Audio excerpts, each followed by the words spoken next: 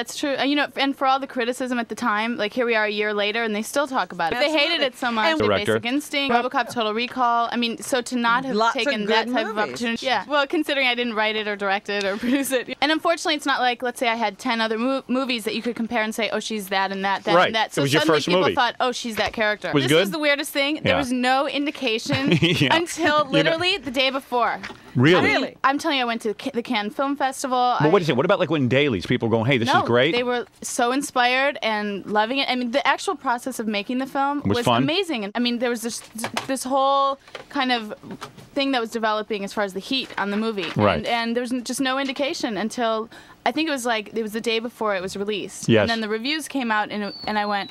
Oh, yeah, that's the best way I can describe what I went. Well, and the, the thing is, you know what? Look, you, you have to take risks. One of the things is, you know, you take risks, and with that comes sometimes a beating. Yes, which I mean, in it, in it of itself was pretty amazing, especially after the show. You know, I had made a decision. Okay, I don't want to do television anymore, and I had auditioned. It took like almost three years. It was it was tough there for a while. Well, I think the hardest thing is, you know, people have a lot of preconceived notions, so they think I'm going to be one specific thing when in fact I'm not. No one is one specific thing. Right. You know,